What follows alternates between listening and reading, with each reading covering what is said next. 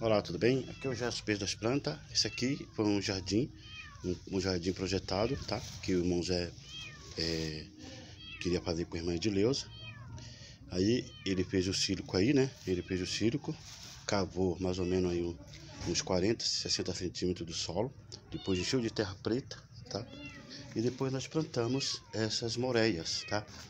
Plantamos a moreia, agora que agora tá meia-noite, nós terminamos aqui agora.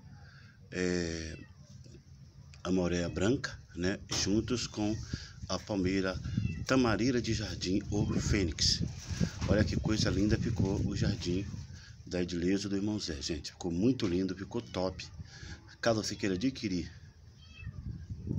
um jardim ou uma planta dessas, nós temos também para enviar para você. Olha que coisa linda e maravilhosa. O jardim,